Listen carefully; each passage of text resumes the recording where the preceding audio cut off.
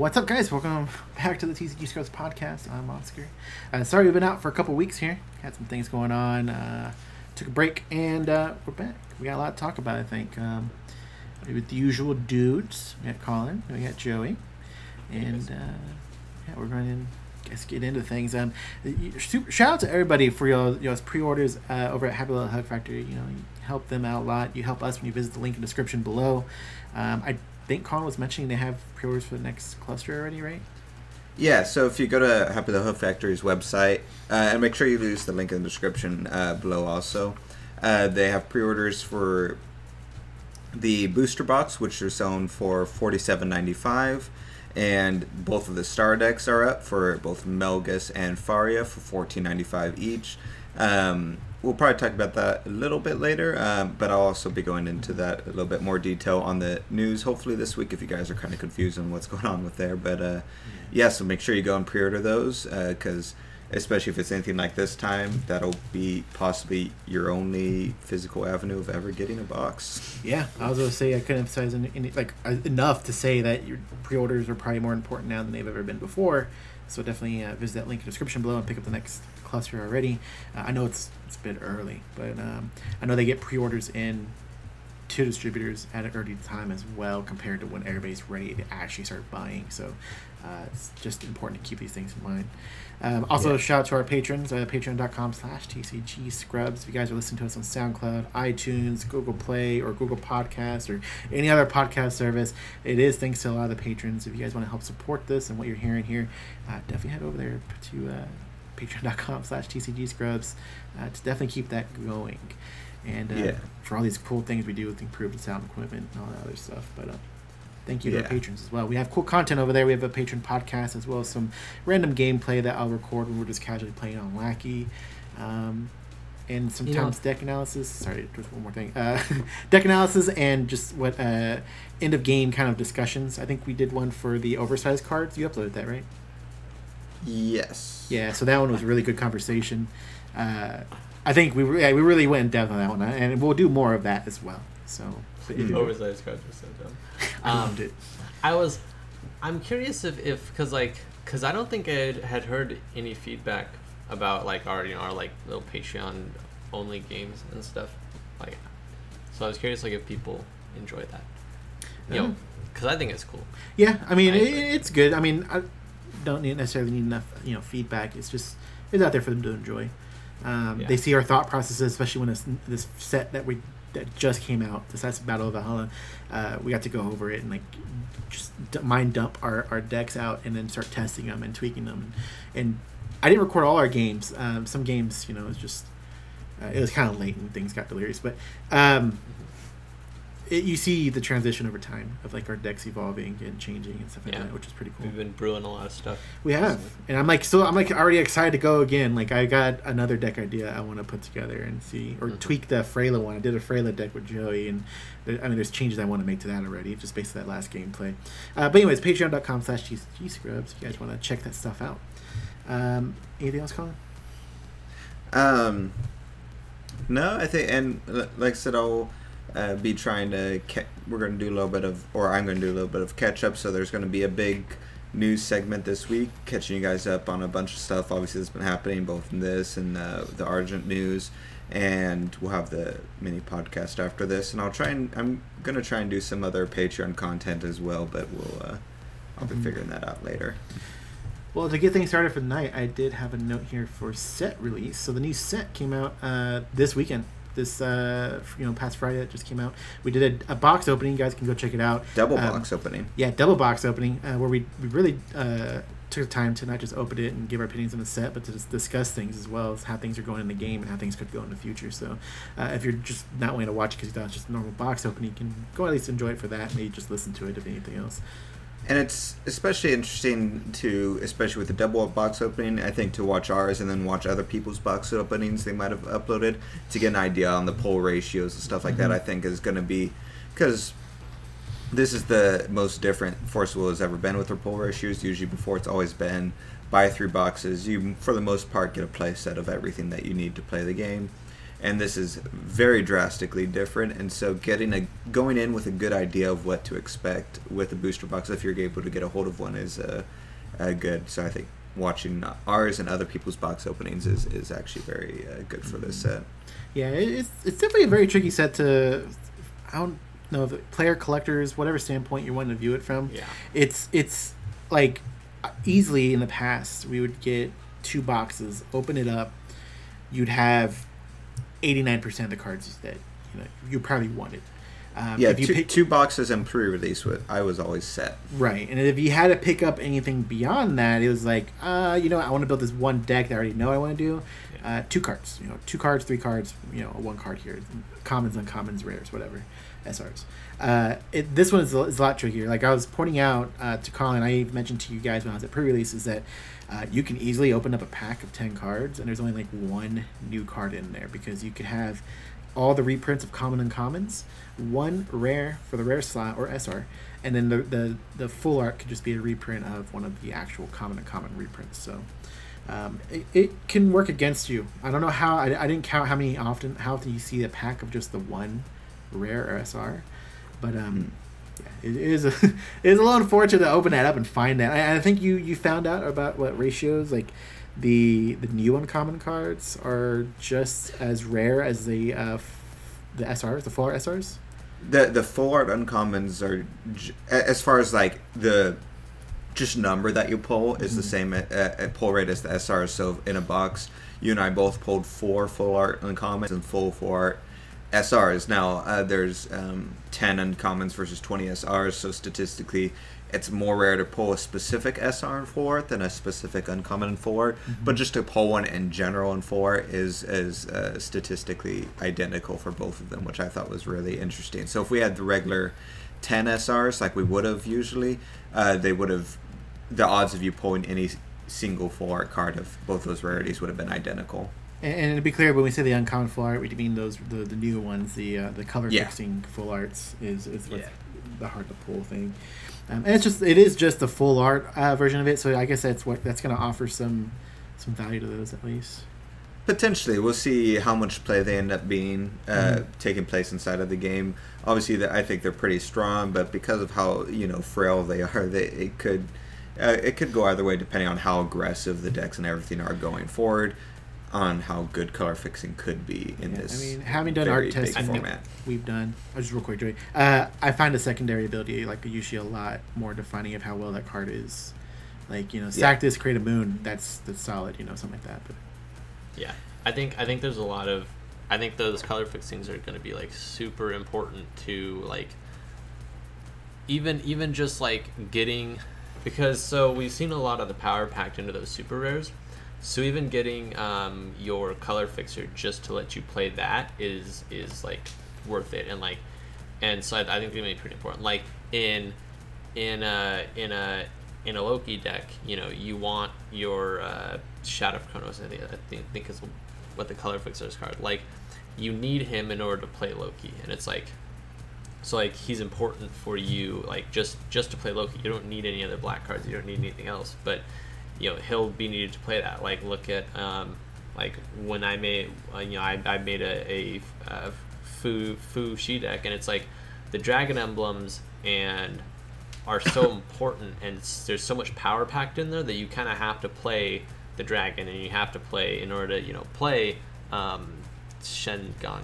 The, I think the yeah well the yeah, yeah it's so like there's so much power packed in those super rares that you kind of need the color fixing to play them.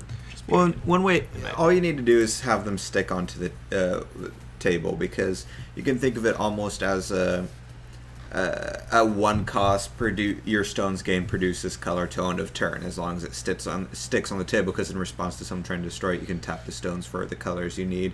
So it, on that front as long as your opponent doesn't cancel the card they're uh, you, you essentially get color fixing at minimum for the rest of your turn yeah, no, they're, I think they're they're at a you know. It's very interesting. I think they're definitely going to be required in a lot of decks, and like there's so much power in those resonators that they kind of need them. Um, yeah. um, my, my, opinion of the new set. Yeah.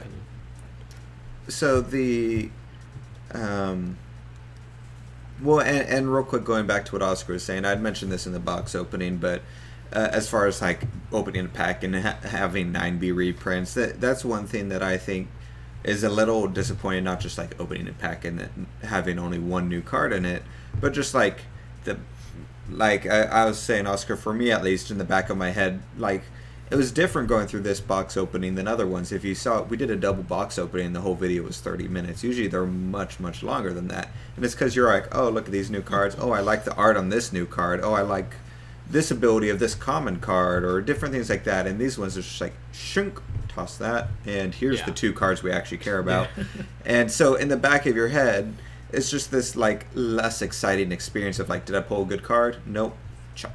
Pull one single good card. Oh, I pulled two okay cards in this one, or one good card, one okay card, whatever combination. Um, and so it was a little less exciting. I mean, obviously, it's more exciting when you pull the bigger stuff, I guess, kind of. But I don't think it's necessarily more exciting than it was before, pulling like a Ford SR versus a Ford SR before. Uh, so that was just something that ran through my head of like that. But Yeah, it, it, I mean it's it is unfortunate. I didn't realize our, our the, the box opening was shorter as a result. But yeah, I mean because even if the card sucked, you're like, man, this card I hate this card. Pre-releases sucked, and it adds more conversation to the video. But uh, I, I don't know. I'm also as, you're talking, I was thinking, I was like, you know, there's a lot of like talk about like, oh, this is great because you know people who don't have the starter decks can get these, and then. I- I think that there's more people saying that than there are people saying, "Oh, hey, I didn't get the starter decks. I'm glad I'm getting these." You know, and I've seen a few, but I'm just I, I think it outweighs one over the other. Oh, But that's that's funny. um, I I, I, know I, don't that, know if I understand the phrasing of what you just said, but So Oscar Days is saying there's more. He hasn't heard a lot of people who are like, "Oh man, I'm glad I get to get these cards from the starter deck." And the amount Oh. of people saying it's good for those other people is higher. I, Oh. Butchered that phrasing. okay, like people who be People okay, who I see, wanted I those see. cards from the starter deck. People who want those cards versus people saying that other people want those cards is what yes. you're saying. yeah, Yeah. uh, yeah. yeah, one's higher than the other one. Um, Yeah. I mean, I know that. Yeah, because it's it's. I think. Well, and it, it, it's one of those things where it's like, no one's necessarily excited about getting cards from the star decks because it's just a necessity. Even if you're like, oh, cool, I get to get these cards from the star deck, you're not excited about it because I think everyone's aware of the reason we're getting these is because the company never sent you the star decks to buy on your own, and so I think there's that that people are are aware of of like yeah, they're happy to be getting them, but they're not going to be posting like how happy are that they're getting them because it's like it's it's a necessity just to play the game. It's not like oh cool, we get to get these cool uh, Vingolf three cards that I wasn't able to get that are actually like super cool. That you know something some sort of pass set that isn't like necessary to play the game type of reprint or. I, I don't know how necessarily word that, but Well, like it, it's like a necessity rather than like an exciting event, especially without getting the rulers. If we were getting the rulers, they could potentially, or if it was alternate arts, similar to what they did with um, uh, Ancient Knights, uh, having the reprints from the Star decks, but it was different art. Then that's actually kind of cool because you're like, oh, which art do I like better and stuff like that. But the fact that it's just reprints with the same art takes away some of the excitement. Yeah, I mean, I was also thinking like With them, for, except for the rapid fire me or whatever that you use the wrong art. uh, I was, I was gonna add on to what I had said earlier about the the voices of one side or the other. It could also just be like the way things like either are on YouTube or even just in real life, like the voice of like say the negative voices, you know, are are louder than the positive because sometimes the positive won't say anything at all.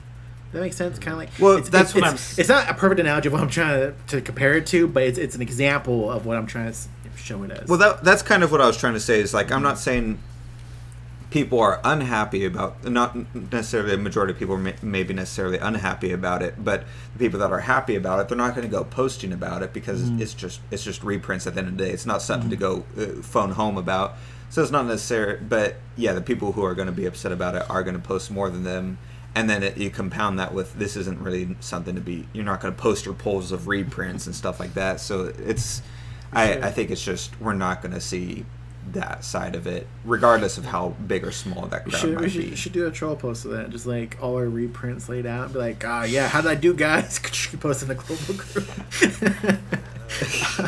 I don't know. Guys, I got my. I have four copies of Air. I'm so excited. I'll, I'll, I'll, po- I'll post set. a picture of like, oh, I'm so excited! I got my these brand new reprints of Donut Drone, and post a picture of my promo Donut Drones. Also, maybe they come off in a bad way, I guess. Make it, yeah, well, make it look like we're making fun of people who didn't get them. You know, in, in a way, I guess that could be a bad idea. but it's funny to talk about. Um, I, I, know that one thing I was going to do. We could wait real quick. Uh, do a picture of like, man, look what I pulled today. look at these crazy reprints. It's just a picture of our our five starter deck boxes with the cards in them. I think my favorite joke still is the one where like, oh man, someone posted like way before spoilers started, like, can I get spoilers for the next set already? And someone just started posting spoiler starter deck images. that was amazing. yeah. But, um, anyways, I, what, I loved that. More serious, uh, something I, I, wanted to do, and I saw I saw Jeremy over at Roller School uh, commenting this in the global group, and I want to do this for our locals as well uh, to help get newer people into the game. Is uh, using a lot of these reprints and the draft rulers and creating these like kind of decks that they could use. Uh, obviously, they're not these crazy amazing things, but they're things that they can learn with, take home, and like continue playing. Like it's better than the teaching decks that are out now, or if they're even and, using those anymore. I don't even know. But it's it's, it's a and, it's a modern day teaching deck.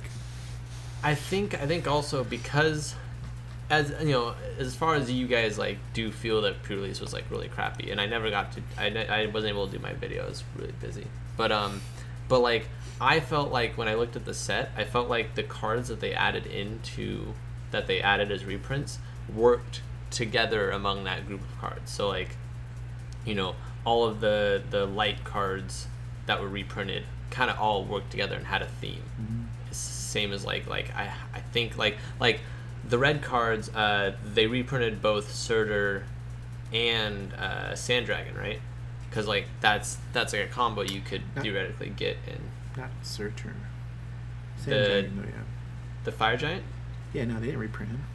They printed a new Surtur. no, I, I thought they, they they he was in the reprints. No, he wasn't even a starter deck card. He was from the, I think the first set. Are you sure? Yeah. I have a full art well, of him somewhere anyways. over here, and you can't get a four art hollow inside of the starter deck. I thought. Um...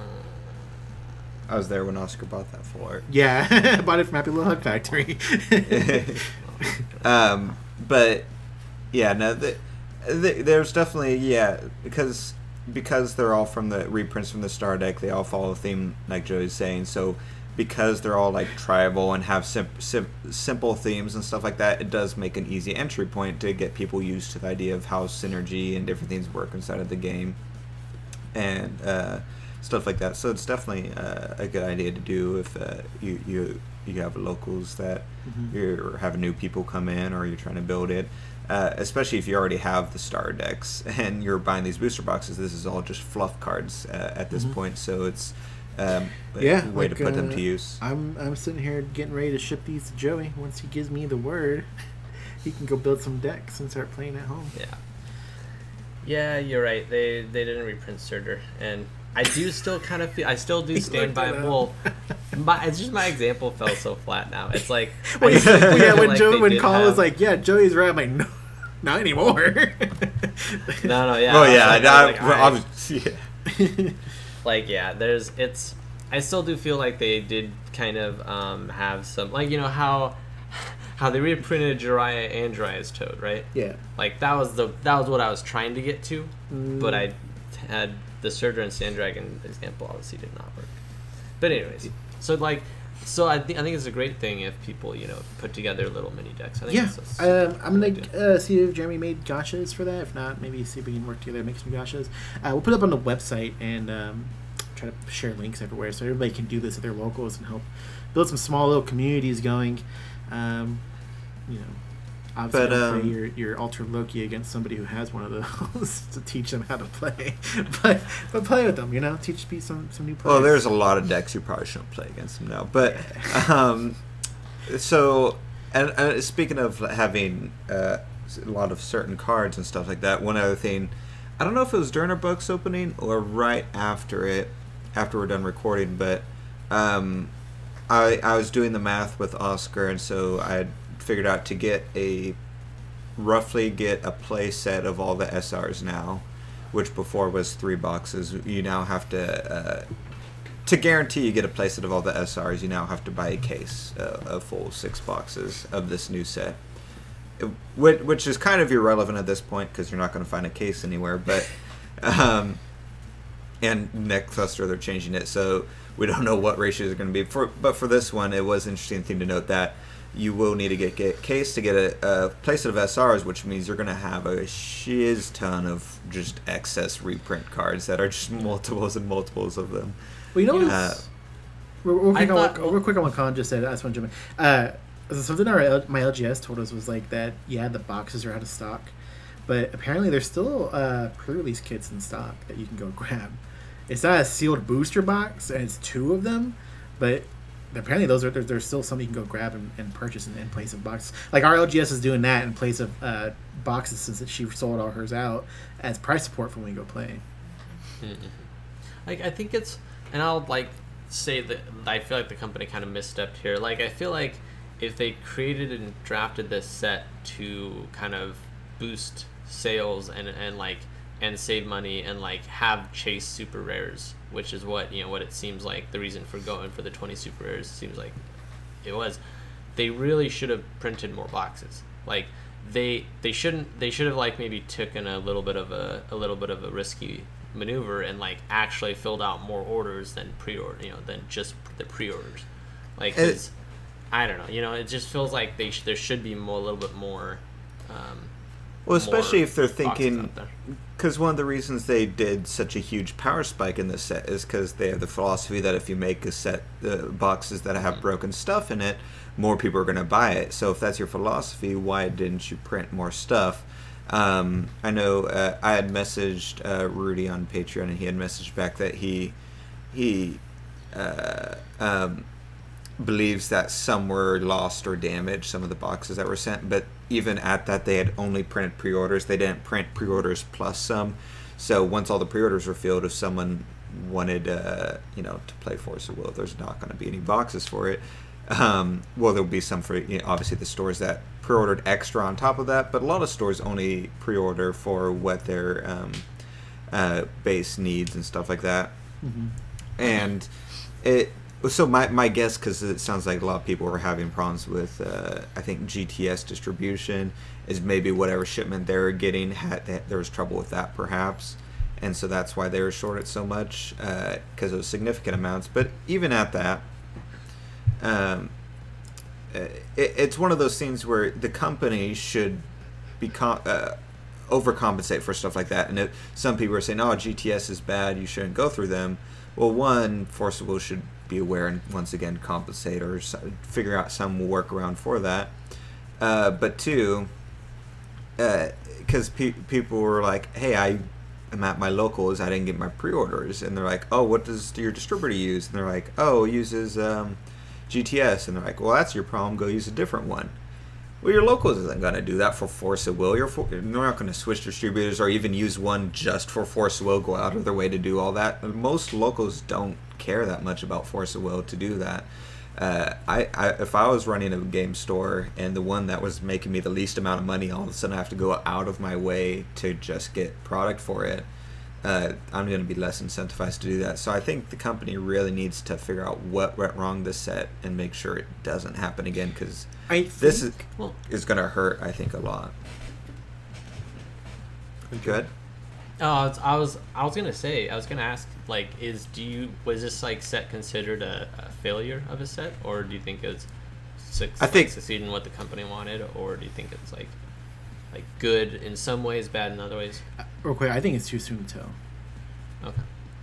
I think it's probably as of now, from what we can tell, good in the sense of it sounds like they're gonna sell most of what was shipped out but that's also because they shipped out for pre-orders so everything is guaranteed to be bought already mm-hmm. and it was less than that so people who didn't get the pre-order or pe- and stuff like that are going to try and snatch up the boxes elsewhere and stuff so from a sales perspective by default it will be but whether it's a net positive or net negative we won't see until like the next set or two what people's mm-hmm. and stores reaction is to this set because uh, we won't see the reaction to the set inside of the set because that's not possible really as far as the sales perspective. So I think we, we really won't even know, like Oscar said, until until later. Mm-hmm.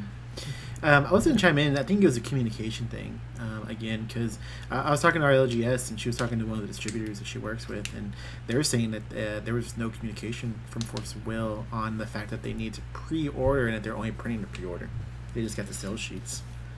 Yeah, for, from what I heard, there's there's also yeah a thing of like their Force Will just didn't market it. They didn't go around mm-hmm. saying like, hey, you need to pre-order this they yeah they made no proactive efforts for the set for, for whatever reason. Um, maybe it was to promote that new uh, what was that new game Cesspool? that's on the poster. Cesspool. They're putting all their money in on Cesspool now. next next so big weird. game, guys. Tell tell your little nephews to go play Cesspool. I've only just now heard of this, and I don't know what it is. Uh, it was it was posted in the global group, and um, every set they'll they'll send a poster out, and it's usually hyping the next set but the last two have hyped the current think. set that's out, which is really weird. You know, showing its release date. So this one that came out now has a picture, you know, of, of the the Loki, and um, the posters are usually like like this large. You know, like like a like a tall. I can't do it here properly. I don't know which way. There you go. They're they're, they're uh, well look uh look have, behind have, me. I have one. Yeah, look. look you, you see how much they, how big they are. Yeah. Well, the bottom third is now dedicated to an ad for another another game. It's a board game called Cesspool, uh, which which that was. That, that always makes me feel good when the company making my game is so confident they don't even want to dedicate a whole poster to it. like, what you know what you guys will like also cesspool. and we looked it up on social media. Like their last post was like months ago. Like they're no longer communicating on social media. It's a game that has been in Japan since 2017. Oh, okay. Um, so, so this is already a, a, a, game that's out and everything. Yeah. Yeah. Hold on. Let, let me read you, Joey. So it's Cesspool, the crime management simulation board game remastered. Welcome to the city of immorality. A crime management simulation game with the theme of narcotics manufacturing and smuggling. Cesspool is on sale in Japan, coming soon to USA. Doesn't even have a release date, by the way, for USA. Uh, just says, hey, do you like Perfect Loki? Well, then you'll like crime management with narcotics. it was, it's it the was weirdest thing. That is that is funny. And it's a I, new thing. Uh, I asked Jeff, and Jeff has no idea what it is. but uh, so so we went over set release, kind of uh, SRs how they're difficult to pull now. Um, we we also found the uncommons, the color fixers. So Colin opened up one box and got essentially a playset of a couple and missing one of on a few of the others that weren't the. No, no, no. I, I didn't get a playset of any of them. Um, I thought you um, got one as a playset or two. I thought two were playsets and the rest were just missing one of. No, no. There's one I might have got a playset of. I can't remember if I traded you for the this full version of it. Arts either. Excluding oh, not including full arts. Yeah, yeah. Then no, the the color fixers. None of them were playsets. The highest I got was was two or three of them. I had three of. The rest were one and two ofs. Oh, okay. It, uh, that's why I was like, yeah. what, what, what the heck is this? I need to buy. Judging by the math on that, you could maybe get a playset with two boxes, but odds are you need three boxes just to get playsets of the color fixers. Yeah, I did. I did two, two pre, or one pre-release kit, which is two boxes, and then I went to pre-release, and I was able to get about like six to eight per each one. And then we opened okay. up our, our box, and then I got more. So I was able to help Colin fulfill all the rest of his color fixes, just so he make, make sure he had them. But yeah. Um, that's another one. I guess it's, it's those are only going for like a dollar or less now, which is pretty cool. They've dropped uh, probably like sixty cents or something. Like that. Who knows how much? Well, time you hear they're this. interesting because yeah, sometimes there'll be two of them in a pack. I noticed, uh, which was kind of weird. Uh, so I feel like two, two of them being two different named ones. Two different named ones, yeah, yeah without either of them being 4 mm-hmm. um, but yeah, so it could be they're common enough, but the pull rates are kind of weird for them. But the the full arts, I think, they're kind of cheap right now. But I feel like the full arts might go up a little bit more in price. Mm-hmm. It's probably waiting for an event to find out which ones will which actually be playable, and then those ones will go up. Yeah. Um, which kind of leads into the whole secondary market conversation. Well, yeah, I'd say it leads in the. Oh, um, okay secondary, secondary market conversation, uh, which I feel like we've already kind of touched base on. Like speaking of the rarity of the pools, yeah. like kind of on that. I want to say like uh, when we when we, I think Con already gave spoilers for those who didn't watch the box opening yet on, on, on God packs. But anyways, I was I was looking at prices. Like yeah, high God God pack is worth way more than a normal God pack. Like, is it? Oh yeah, yeah, no way. Like, like some of the cards, uh, I think the highest uh, cost cards in the normal god pack is like 17, 18 bucks. Meanwhile, like, the I think the the high gods god pack, there's like uh, a twenty three, a twenty six, and a thirty, and it's like just off of three cards. Like, I think the cheapest one goes for seventeen. There's like two 17s and maybe one 11. Yeah, but yeah, it's it's worth way more if you get the high god god pack. Yeah, that makes sense. Yeah. Interesting. Um, good. I'll just move it on. You're moving well, no, secondary we were, market. Yeah. Colin, Colin, no. Colin wanted to make a comment about secondary market. Oh, that that was your entire secondary market conversation. Uh, yeah, yeah. I was waiting for you guys to. Was that hey? Sometimes god packs are worth more than other god packs. Secondary I, market. I, honestly, I'm waiting. For I was really wanting to get Oscar, to the next Oscar, thing. right? Oscar's wait, waiting to fight. uh, I, I know what Oscar's getting to, but no, it's not that, even that. That's like two conversations away. I have other stuff on here. Go ahead, Colin. Talk about that second no, market I, at thirty at thirty minutes of this podcast so far. I guess we'll talk about it in the po- post uh, show since uh, Oscar's no, like, "What ideas do you have?" And I give one idea. Is like, "Cool, we're not gonna do that." Anyways, all right, move on next topic. Wow, putting that putting that conversation behind the paywall, Colin Jeans. Yo, it's it's it's very suited for that um, since this game is behind a paywall now. Um, I, I, want to give a shout out. I, I, don't know why it's so low on this thing. I should have had it way up higher to, to Joey for his Joe's corner. Now he was gonna have a pre-release primer. He had about what three weeks to get it ready, but didn't do it yeah, at all. I forgot. I forgot about it on the weekend. like I forgot about it until the weekend of like the weekend before the weekend. Yeah. And then and during the week, weekend. I had like some sides plans and stuff, and my work. Yeah. My work got really busy. Um, so he, so he's gonna he's gonna release a, a, release week video, but it's probably gonna be a week after release, right? Yeah. Yeah, and he kind of what go over the cards and stuff like that. Wait, wait, yeah, just hype it up, hype it up, man. Well, talk about uh, it it's, it's gonna be it's gonna be like a lot of oh crazy card analysis, like pull ratios. Um, I'm gonna go through power levels, and uh, uh, it's, it's gonna be crazy. Yeah, uh, probably half of that is uh, there's not gonna be pull ratios. Not gonna. Yeah, yeah. I'd say it's not gonna but, be like all like talking about the negative parts of it, but you're gonna, get like the actual there. analysis of like the, the, the, the, cards and where they're gonna be useful and stuff like that. What I have a nice billboard for. behind me, a nice little whiteboard I can draw my my percentages on. Wow. But no, yeah, it's I'm just gonna kind of go over like what cards are cool, what you know, because I find it interesting now how since since I've been kind of making decks I've been like, okay, so you know, I'm gonna make a a machine deck, and I'm like, well, I mean, I kind of have to just throw Deus Ex Machina in there, and I have to throw the the machine work girl in there. And it's like the deck, like half of it, I swear, just kind of builds itself, and it's like, mm-hmm. and it's so interesting to build these these decks around these huge power cards. Because I mean, they just kind of lend themselves to a lot of their, their own deck building find is interesting. Yeah, I just realized something. The conversation Colin said I was trying to rush to is actually the one I was moving away from. So, and now he's trying to hide it behind the paywall. What? I never. So that people. Wait, what? I, I, I, think you're confusing me with Joey. Clicking. Joey said you were rushing to something. I didn't say you were rushing anywhere. All right. Anyways, Joe's corner. Check it out. Yeah. you'll do. You'll also have a top eight like analysis, right? Because I know we had a, a Italian Masters uh, this this weekend. Uh, you guys are really selling this, like, which is good. You know, putting, putting me on the spot. But no, I, I, yeah, there was a recent event that mm-hmm. I thought was would be pretty interesting to go it's over a, it's a and see some of the decks event. they built. Yeah, it's a cluster yeah. only event. But I mean, I believe, and uh, no ban list uh, incorporated. Yeah. Kind of some, somewhere in Europe. Uh, I don't know who it was. It was Germany, but they had a ban list incorporated. So I want to bring something up real quick. I didn't actually have this on here, but it's been something that's been bothering me for a while and uh, it's it's gonna bother me even more. But I'm gonna go with it now that I know this is how it's gonna be run. Um, is it Utgarda Loki, the black uh, yeah. giant? Um, oh. Uh, the English card on it is the three cost. Um, your opponent discards a card you pay for in your life, and uh, there's a there's a um, a template, I guess you can say, that all the giants are going by, and that that one giant doesn't go by the same template, and that's where it's like enter ability is the same as its like uh, activate ability uh, from hand. Um, and at first, there were some saying, "Oh, there's an errata on it, saying that it runs the same way as the enter ability, so it kills a J slash resonator."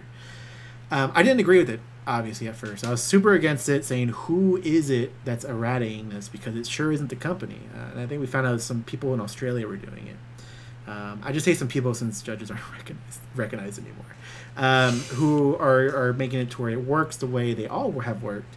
Um, and it just kind of bothered me. Uh, it was just something that I was like, I don't I, listen. I'm going by what the card says until the company says something, uh, which it's possible they could always say something, and I'll, I'll accept it at that point because the rule. But um, I, I, did some digging and stuff like that, and asked questions in, in certain places, and um, it looks like that's just the wide acceptance now. That's just kind of how it's going to work going forward, um, based really? on the event you're attending. Um, you'll always want to, I guess, ask and double check when you're going somewhere, or you're going to play maybe with your, your local groups of how they're going to play it. Um, I did, you know, talk with uh, Jeremy over Ruler School, and for the new upcoming event he had going on at Cel- Force Real Celebration, uh, which you guys can check out. It's October 12th weekend uh, in Michigan.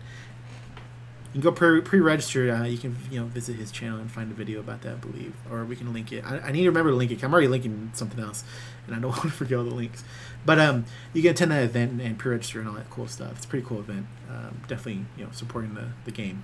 Uh, but for that event, I know that they'll be doing it as a J Resonary killer, so it does kill it uh, with its activated ability. Really? Yeah. So, so I did, do have another, like two or three questions. I had heard, or you guys had uh, posted in the chat or something that they might the company might actually be releasing something releasing like yeah so or a new i had seen in the italian group somebody asking if there was a cr update and someone said there's one somebody's making one or there's one coming out soon and uh, I shared that with you guys, and y'all are like, "Oh, that's probably just speculation." I was like, "Okay, yeah." But um, somebody actually posted the same thing in the global group, in which uh, Stephanie Shaw had commented on it, saying that she had heard something that there might be an update to the CR. And while it's not on time to where we always get the CR updates, it just be patient, and it should you know be here at some point in time. Yeah. Um, so we'll see. We'll see what that that that well, brings with it. Even though I mean, erratas don't go on a CR. CR is just going to be you know yeah. clarifying of rules. Well, but. I think the, the the thing about that is that I think because from what from what I understand, there's a whole discussion with loss of life and what that is. Mm-hmm. Um, and that old cards said damage is not loss of life. Right, it's reduced um, life. Correct. Yeah. And I think the CR right now says I don't really know what it says. I it kind of I, I haven't reread it. I haven't really looked at it. Um, but the way that Oscar was telling me that some of the judges have been leaning towards is like, for example, with uh, um, Lich was it Lich, who loses life, and then gains life at the end of the turn. Lucifer. Lucifer. Lucifer. Okay. So with Lucifer, um, he says that if you lost life this turn, you gain that much life back, right? Right. Um, and so, my understanding was that the judges were kind of uh, they were pushing towards stuff that actually makes says you lose 400 life, mm-hmm. and that costs and damage does not apply to that, right? Right. That, that right? So like, it would be nice to get clarification, for example, in the CR or you know, same way this whole Utgarda Loki thing is going with, like especially with uh, um, Hades, right? The no Satan, Satan. I was like that BFA card. I was no no yeah I I I've been getting my demons mixed up, but um, uh, Satan Satan seems like it works with cost and loss of life, but not damage. So you know, mm-hmm. it'd be nice to get clarification on what, um, because I think he says if you if a, if a, if an effect causes you to lose life or or uh, or a cost causes you to lose life, yeah. then you put a counter on him. I mean, well, I, obviously it's not going to be damage. The only thing up in the air is if if pain life counts mm-hmm. as loss of life. Yeah, um, yeah, yeah. But yeah, I think Okay, it's interesting, yeah, because that's another card that in another language also clarified pain life also counted toward it in addition to loss of life. The uh, Lucifer. Yeah. Ah, um. Interesting. But uh, in English and stuff, it does not clar- uh, say that. It just says loss. So I don't know which one's the correct. If it's pain life in addition to that, that's like obviously super, super strong, uh, especially in. Well, uh, I don't. I don't really agree because the, the whole point of the template of his card was that you pay you, it, it says like you pay a thousand life and you pay three mana and you get him from the graveyard to your field i think and then he recoups the loss, the the the life that you paid at the end of the turn. No, no. Um, any life you pay or lose, he recoups during the entire turn, all of it.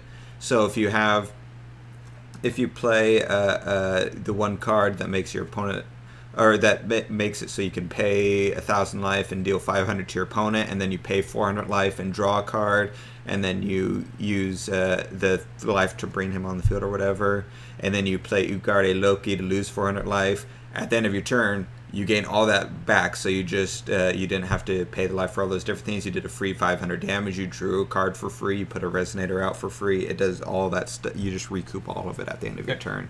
My point is though that the way the judges are looking at it now is that paying life, like if if a card says pay 400 life, uh, you will not gain that life back at the end of the That's what I'm saying. Yeah, that's what I'm saying is up in the air of what what that right might but be. my point my point is that lucifer's abil- both of his abilities you pay life and it seems Yeah. to me like the point of his card is that he recoups the own life that you paid you at would the end of think. the turn well well yes i would think that's why i think the cr update should include both of those as loss of life Yeah. i don't know Yeah. Um, Um, Which but makes sense with how Lucifer works, but we'll see what they right do. exactly It, it, would, it would make it super strong. but and real quick, going back that's to the the thing. point is it's a super rare like one of the you know it's like it's supposed to be as strong as isis and as strong as uh you know It- satan and all those No, things. that's that, that's that's too strong. It, like already, the pay a thousand deal five onto your opponent is potentially like I I've found to be super super strong and paying for He a doesn't- to draw a card.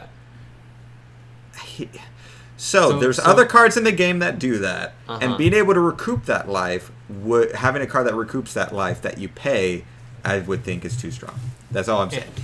yeah, we'll de- agree to disagree, but No, there's no way to disagree about that. My if point- if, my if point is paying that- a, if you said in the past, Joy, that the pay a thousand deal five hundred to your opponent is super strong. So if there was an ability that was just like, hey, once per turn, you just deal five hundred to your opponent for free, just anytime you want, you would agree that that is too First strong, all, correct? no, because it's not for free. You It is for free. Do it a certain amount of times. You can't Once per turn. Six thousand life. No, I just no, no. said I literally. uh, You guys can rewind. I said if once if there's an ability that once per turn you can deal 500 to your opponent, that is super strong. And if you have multiple of those resonators on the field, then you're just doing a thousand damage to your opponent per turn and stuff like that.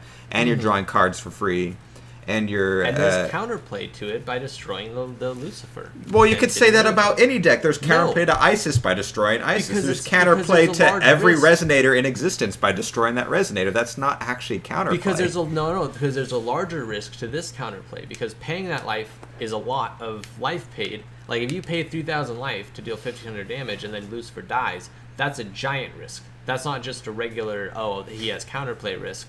That's a huge counterplay risk. That's Well, my no- point. It depends once again on his ability. Uh, 'cause- yeah, because if it's the pay, then uh, I'd have to read him again. But I, I would imagine it's not that hard to get him back on the field. It is pretty just. All right, we're gonna go ahead and move that conversation But- along. Yeah, yeah. Real And- quick, and- uh, no, because I didn't. You, you guys moved on to a different conversation, but before I could say I- I- anything, I- Are you? Is this more on this current conversation? I was gonna wrap it up with one last opinion. uh, I was going back to Loki. Since Okay, I like was, to I'm gonna wrap up this this this one, and you can go back to that. Is that Okay. um, I just want to be clear. Like I I I brought the, the the subject up so that everybody understands. That's kind of how it's working now.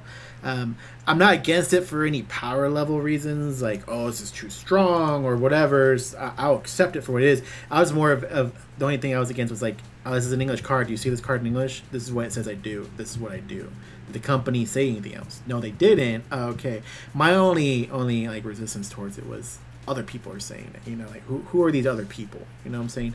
This is the only only resistance I had against the entire thing uh, from start with. Um, but I get it now. You know, I, I, if that's how higher level events will be run, anywhere else people are getting ready for those events. That's how it should be played. So that's just I just wanted to bring that up so that everybody it was to everybody's attention, and then uh, you know, we Yeah, I think- I think uh, I personally think we should keep both of them on their English because it's easier for players. Uh, dealing with those types of big erratas is, is is not good for new players or just players in general. Going by what it says is better, but also I think both this and Loki are just better balance wise with the, these wordings. I going back to the Loki thing, I think, and I've said this before, or no, Loki uh, is what I want to go back to. Is I think I, I personally think Loki is, is way too strong with the um, uh, second ability added in. Uh, being able to for three cost during your opponent's draw phase, discard what they drew and dis-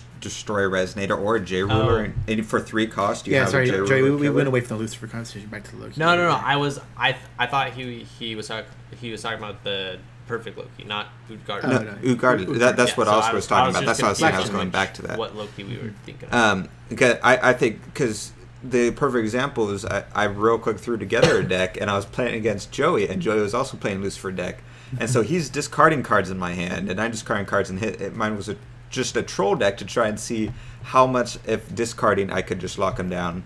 And there's stuff I could make better in it.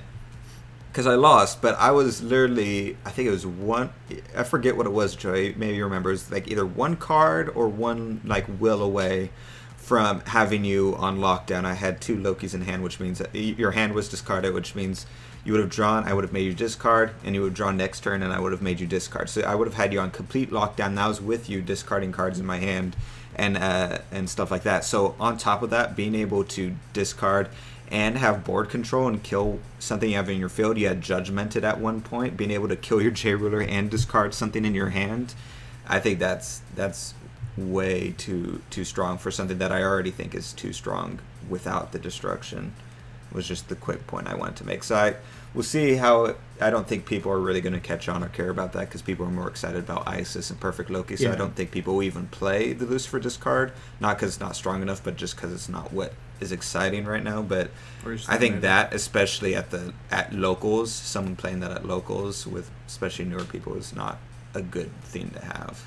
But yeah, we can move on. I like how you, you, you phrase it as uh, nobody wants to play it. They want to play this other stuff. It's like no, it's oh yeah, just not as good as the other stuff. Is what it comes down. to. No, I'd say I, we have I, well, I haven't played test against anything else, but I I personally think it's it's super strong. But we'll we'll see when we play test. Yeah. uh, okay, so moving this along, we got four, 45 minutes. Um, let's see what, what do we do here. Um, rewind. Uh, we're going to rewind is what we're going to do. Um, mm-hmm. The secondary market. Colin wanted to bring up a point about it. I, I didn't want to skip that point, so go ahead, Colin. What what was what you want to say about secondary market?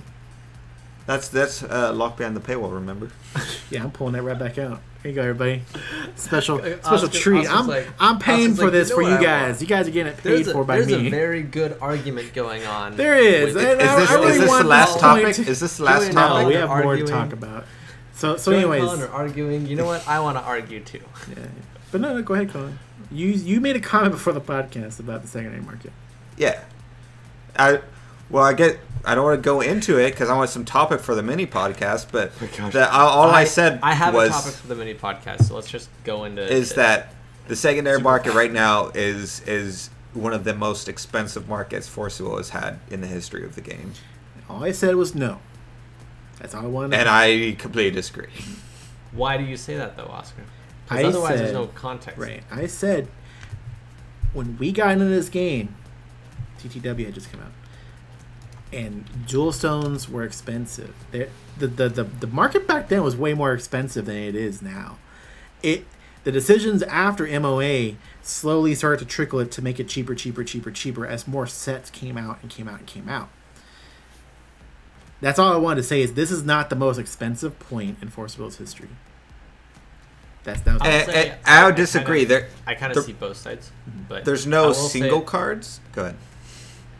I, I will say that I don't know about dual stones. I think Oscar was right. They were pretty expensive. Um, but I will say that I think um, um, Cheshire cats were like twenty five dollars uh, a piece. I think and they yeah. and like everybody was, was, running them. So it, it was more sense. than that because I remember what was it? I thought it was twenty. The, I think they they peaked 40. at thirty. I think for, uh, regu- for regular art. Yeah. yeah, yeah, for yeah. the normal one. Um, oh yeah, well the the the booty cat was. Yeah. Was like way the heck up there, yeah.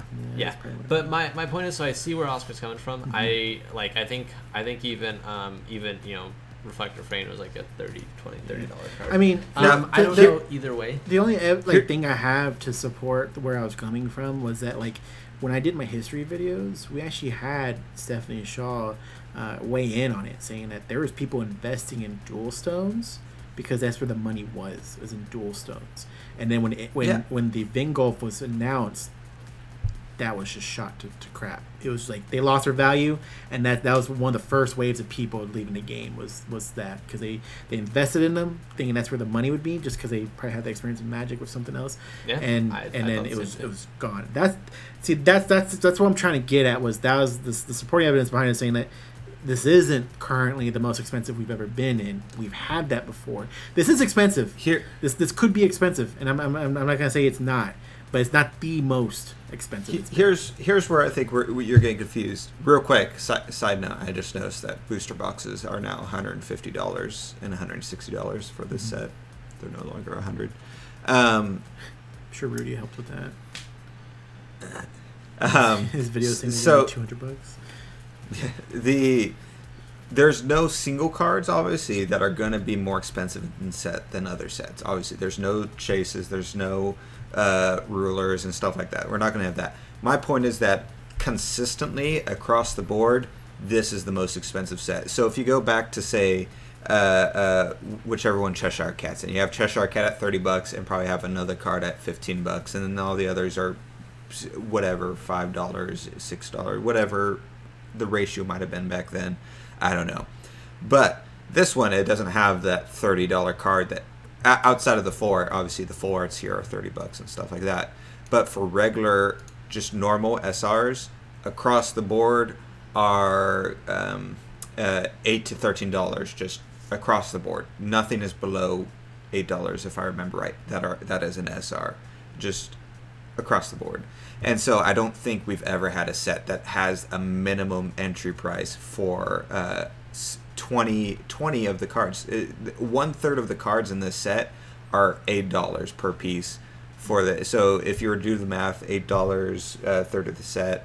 Uh, that's something like uh, oh, okay, I can't do it in my head right now, but it's a very high entry point for the game, which I think is with the except excluding high single card prices, like the standout single card in a set.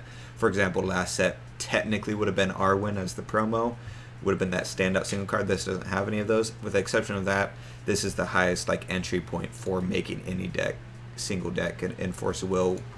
Like any deck you can think of to make that involves cards from this set, especially the SRs, has a minimum entry point of, of $32 for a play set of a card. If you run two SRs, which almost everything, uh, most of the decks will, uh, that's $64 minimum entry point just for eight cards, not including anything else in the deck. And so that's my point of like, I think this is potentially one of, if not the most I- expensive sets. I don't know. I I see your reasoning, Colin, but looking at Oscar's reasoning, where you literally have to have dual stones to play, like you would have had to have dual stones back in the days. You need to have like these 100 SRs to play. You physically Right, can't okay. win without these SRs now. My point is that you can't play and you can't win without those stones, and four stones is one hundred twenty dollars. So, like, I, obviously, I see where you're coming from. I, I, I But but the stones were separated into two sets, like Oscar had pointed out.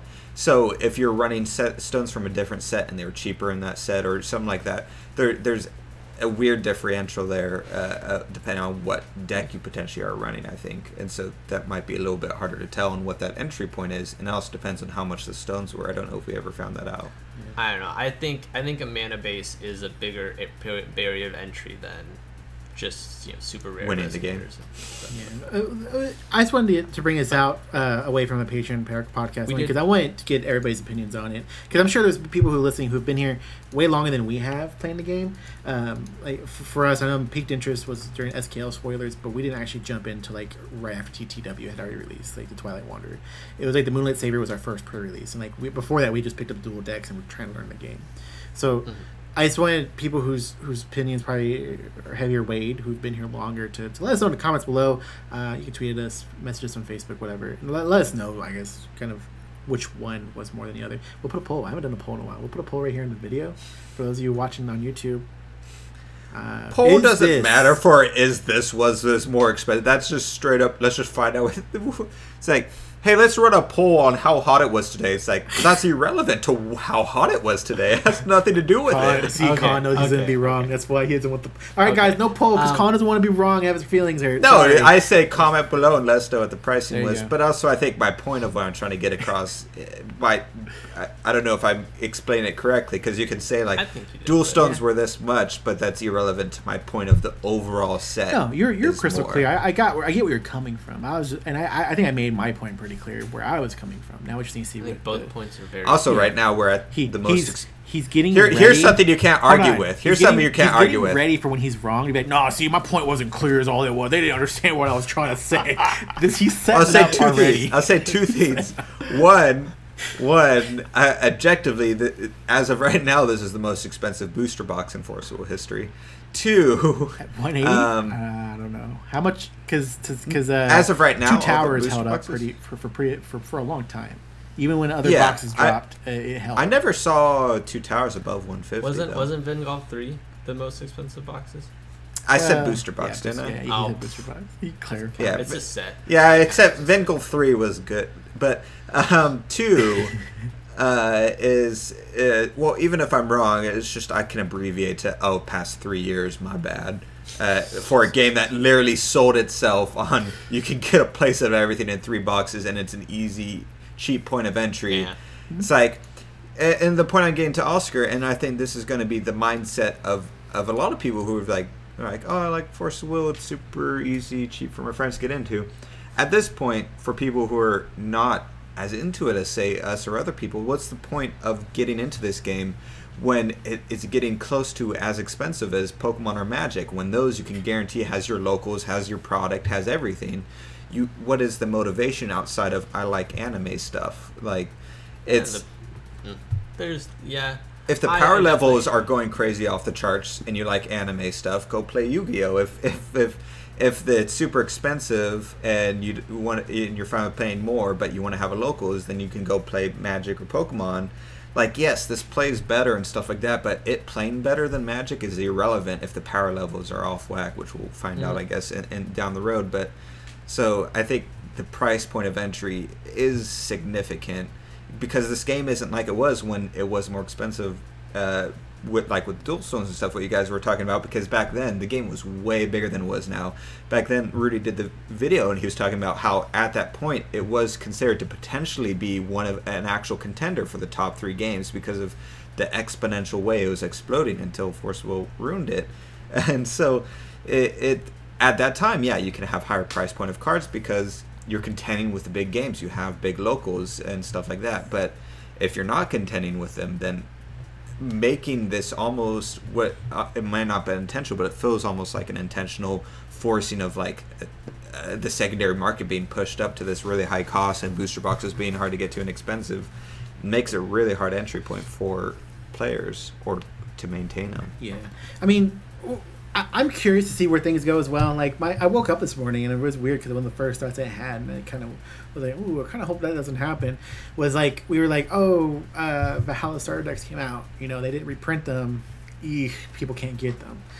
Then like this is happening with the set. I'm like, "Ooh, is this another Valhalla starter situation? Like, are people gonna jump into the game like when You the next what? cluster when next cluster comes out and they're like, Oh, yeah. oh, this red deck solid. You know what I need? I need a uh, Nyarlathotep and Lysis. And it's like, oh, uh, they're going for like 30, 40 a piece or something like that. Something dumb. Like, ooh, those boxes are going for 150. I, that's expensive. Like, it's available, but it's expensive. It's like, that's my only worry right now. It's like something like that happening uh, to prevent people from. Cause I think that every cluster, if there's there's that, you know, Kachunk people jump on. You know what I'm saying?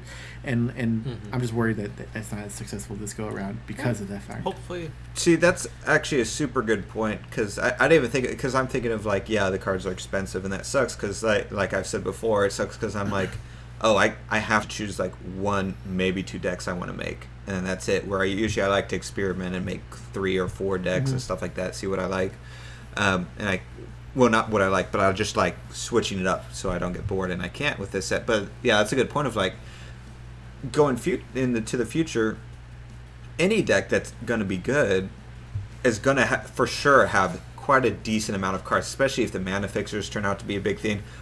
Most of the SRs and and a lot of the rares are going to be uh, like staples in decks, and so yeah, that is a point. Like, ironically, the deck that reprinted the starters because people needed the star decks.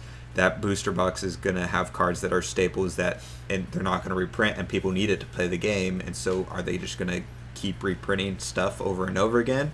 Which which is a potential theory for future stuff they'll do and stuff. So like, uh, yeah, that's a good point I didn't think about. Yeah. Yes. Um, the the wrap up like topic I'll, I'll, bring up right now is is is next cluster. So uh, we we have some information knowing that it's a it's a smaller set, right? So it's like uh, be, or smaller set meaning 30, twenty packs. Thirty packs. 20 packs inside of a booster box. Like I mentioned in the beginning, it's $48 on Happy Little Hug Factory for a booster box. So you want to get multiple of those. We don't know full, like, um, necessarily if they're changing pack ratios or anything like that, what comes in a booster box, or you're guaranteed this amount. Uh, all that type of stuff. Obviously, we, we probably won't know till box is open because it's not like we'll, we'll hear from the company or anything. Uh, unless maybe maybe somebody inadvertently asked that in that Q and A that uh, that we'll hear back from soon, hopefully. So, so but um, it was forty eight dollars for twenty packs. Yes. Twenty packs, 20 yeah. Packs. So mathematically, okay. we're still, looking still at cards. Uh, forty per pack. Um, I was, I was I was already. So going by Happy Little Hug Factory pricing, Happy Little Hug Factory usually does eighty dollars for thirty six packs and a booster box, so forty eight dollars. Uh, so it's uh, roughly uh, what what is that? Um, one not not 1.5 times what more per pack. I don't know math. No, Give no, me a sec. Well, okay, okay, it was. Listen, he let him, let him go over the math real quick. I'm just gonna mention things. So 20, 20, uh-huh. 20 packs in the in the box, still ten cards. Uh, I believe ICV2 mentioned that there was going to be stones back in the in the packs again. Mm-hmm. As the Colin was bringing up to, uh, to me, um, there's also like since since every cluster has had a theme, there's no way we go back here without the regalia. But I don't think it'll be zero cost regalia. Um, it would yeah, definitely be, be a, cost to the regalia. I don't know. That means you get say Levitine, you look at it, you evaluate how much it should cost, and then you attach that cost to it, and then you know Levitine stays at same whatever you know level of power it had, but at the appropriate cost, or if it's more like oh, it's costed, but it's not as powerful either type of situation. So I'd be interested in seeing um, where, they, where they where they and it, it. It's also we also don't 100 percent know on the magic stones. It could be just because that whole sell sheet. It, you know, we've known Force Will they word stuff badly, so mm-hmm. it could be they're just referring to that box we get in the booster box that has the magic stones in it. Also, okay. that's what I'm hoping. Fingers crossed. But they're for yeah. some reason that I assume they fired whoever does their sell sheet. I mean, so um, it's also not I mean, yeah, it's it's nice to open a pack and not have the stones in it, especially if you're doing a draft. That's always like the last card you pass to somebody. But um, I, I do kind of miss hollow hollow basic stones. Uh, I don't. I, I guess technically in this go around we did have them inside the star decks, but it was only like what half of this the, the stones were were hollow. But in this case, you'd always be opening them up and get. I would also like to see us go. I know it's asking for a lot to go back to like different stone art per set because that was really exciting to see all the things. We didn't get all the animal stones, which we had told were going to be a set at some point.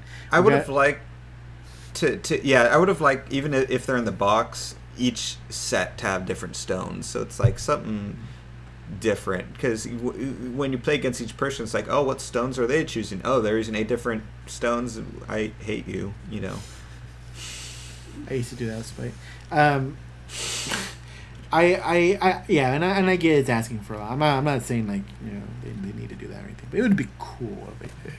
Uh, but yeah, next next cluster, I, I'm really hoping things really turn around. Like we'll find out. Like this set had you know in, in some opinion, people's opinions, a rough uh, launch, uh, distribution, you know, whatever. I want to see what happens with the next one because that could set the pace of what happens to each of them. Um, if the next one's a little bit more su- successful, uh, then I think it, it can you know offer some hope. And then in that point, we get that, and then I I I, I get to this point every cluster, and it's usually because of one or two cards. In this case, just because of how how it ended. Um, but I would, I'd be like, oh, cool, this is going well. I can't wait for that last set to rotate, last cluster to rotate. Like, Valhalla to rotate, so people don't worry about I can't get into the game. Divinity rulers are better if they if they are Yeah. better, things like that. I want people to be able to play the game to the way they were when everything first came out. I get people left the game already, and some people have moved on with their lives in general. Um, but I just want to see you know obviously see this game keep going because this I have the most fun with this. Like we've done dabbling in other games. I get all this cool stuff it comes to this. Like this this right here nothing really beats it. They make mistakes and like we get upset but it, it's like it's like it's just because how much we care about it you know? We, we love it a lot obviously. I love it a lot and i just don't want to see anything that you know bad happen uh, anymore. Um, so real quick, real quick, go back to the uh, it, the packs are ten percent more expensive per pack going by Happy Little Hug Factory pricing. Um, uh, in, for anyone curious, so if you were to apply that to buying a regular booster pack box of thirty six packs, that booster box would be seven dollars and twenty cents more. So not a huge difference, but it is there. Um, but it, to, to did me you have any other topics? well, just Oh, on well, no this is the last topic um, I have one thing I want to. Uh, to me though on that is like it could be more per box at the full price of the box for full pack distribution but it's it's gonna be easier because like if i go to an, L- my lgs and they have a box and it's 48 bucks i'm more likely to pick that up on the fly Yeah. than spending dropping a hundred dollars on keep the in mind. Happy Little Hug Factory does better. Like I said, that's what I was doing the Yeah. caveat of they do eighty dollars for the boosters, which like our locals doesn't do usually and stuff. Mhm. So that's a caveat of eighty dollars for forty eight dollars. Uh, forty eight dollars might not be the norm pricing, but Right. yeah, no, I mean it makes It's- it easier cheaper. for me because it's a- it's I a- can't it's- drop. Yeah, Right, it's a lower it's a lower price point. Like like uh, for for you, if you go to sell some of your cards, you sell more cards to get a box, you know. But you sell fewer cards now and get a box. I don't know. It's just it's just an easier point. Like I think again, I think you made the point of the other day. Like somebody who's new can just be like, hey, I'll take a box. That's only forty or 50, It's 60 like- bucks. You know. Yeah. It's like it's only- like it's like fat packs and magic. Like mm-hmm. I personally like it more because you know I, I think it sounds better because I like I like buy I would like buying stuff in more digestible you know sizes. Right. Like if I I can get 1.5 booster boxes, you know, instead of having having to get two booster boxes, you know, in case like in case I don't, you know, you could get you could buy boost like let's say you want a playset of X, you can buy booster boxes, you know, buy one, buy two, buy three, and then stop instead of buying you know two full booster boxes. I don't know, but I think it's interesting. it well, like I said, I, I'm mixed on it, but I, it's really going to depend on their their execution of it. It could go either way. Um, I, I personally still like the bigger booster boxes, and I'd prefer they use a smaller product. Like you said, fat packs and stuff is my preferred thing, so I can buy the big booster box and then have the little stuff in between. But uh, th- this could turn out to be perfectly. Or this probably turn out to be perfectly fine. But the one quick thing I want to do it before we close out is just real quick, uh, like what your guys is. If you guys could give a decisive battle of Valhalla a score out of ten, and this is everything like uh, you know the the execution, the the the packs, the uh, cards in it, uh, like the whole package together out of out of ten. What would you give this set? it's it's tough because because what I would see it as is like here's seven uh, factors that come into play, and here's my my rating per factor. Now let me average all those factors together to give you your answer. And uh, if I did that, I would probably give it right around seven point five. Yeah, I, I would say like what yeah what what your gut Yeah, is like co- combining all those different factors. Yeah, that's like if you were to be like to. I just, I just want to make it to be clear in case, just so people know, like it, it could be like oh, there's a one on distribution, but you know, there's a ten on print, print quality type thing. Right. yeah, li- uh, yeah, like I, like I, I could probably give gut reactions for the other sets of like everything combined, but yeah, yeah. So seven point five. Joey, I I can't like I really don't want to rate it on like distribution um whole I wouldn't I necessarily don't- take in well, distribution down. my thing is that like I don't experience that stuff because I just play Lackey now and I'm like I have all the cards anyways doesn't matter to me. Um but I, so I feel like I am really kind of only basing it around like um card quality what the cards did to the to the game. Um I give it You like mean a, n- not the physical card quality, like the actual Right, cards yeah. themselves? yeah, like the the power levels, the the new stuff, the new mechanics. Like I'd give it like a I don't know, like an eight point five. Like I love, I like a lot that everything did kind of get really good stuff. Mhm. Like even Shiva, who I thought is like one of the weaker one of the weaker decks you can kind of build around, I still think would be pretty fun to build. You know, so I go like at eight point five. Um, yeah, Yeah, see, I, I, I would agree that I like all the stuff that was introduced. I, I think it, it, for me personally, it falls into the trap that a lot of other stuff Force Will has done. It falls into, which is like, here's all this awesome stuff on this card, and then here's like one step too far. And that I feel like was a consistent theme a lot with a lot of the cards where they're super good, and then they added stuff, uh, and and it's going to lead to some interesting things. We'll see, but yeah, I would like the print quality alone probably gives it a full extra point for me because the print quality was amazing. Yeah, it was really good. Um, as you guys saw in our box opening, us talking about it, but yeah, I'd probably give it like a yeah, probably like a six point five or a seven somewhere around there. Uh, um, Well, when- that's just my personal preference for how I like my card games. This I don't like big power level stuff. That's but yeah. Uh, but we'll go and wrap it up here. Um, I definitely uh, mention you guys uh, check out. I guess soon we'll have some gameplay up, uh, actual IRL gameplay between Colin and I. Maybe I'll take a camera to locals to film that. Um, and, and if you're just wanting to see some lackey play, you can you know tune into uh, you know Patreon and check some of that stuff out. And um, we just haven't are we a talking about on our mini podcast, Joey? Hmm? What are we talking about on the mini podcast? Well, I had a, a diff a different idea, but I mean Yeah. we didn't talk about the the the the ARG AGP the GP.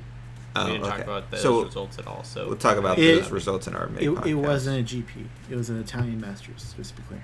Italian Masters. There's like whatever. And But no, uh, yeah, I, so I think we'll I think that'd be cool to talk about. Cool. I wanna and talk about it anyway. and uh, thank you guys for listening. And uh, Yep. we'll see you next time. Bye.